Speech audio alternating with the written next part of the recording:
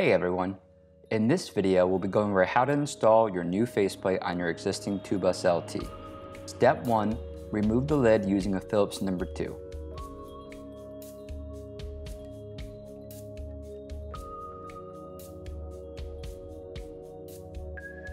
Step 2. Remove the knob from the potentiometer shaft. Next, while holding the potentiometer PCB, remove the nut that holds it to the faceplate. After that is done, you can gently pull the potentiometer shaft through the faceplate and leave it inside the unit. Lastly, we just need to remove the faceplate from the chassis.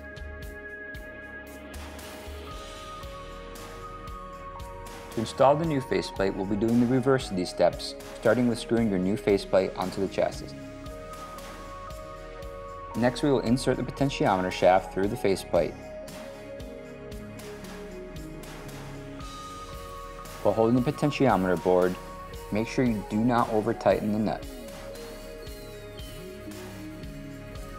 Next, turn the potentiometer shaft fully clockwise and install the knob so it is pointing at 6 o'clock on your faceplate.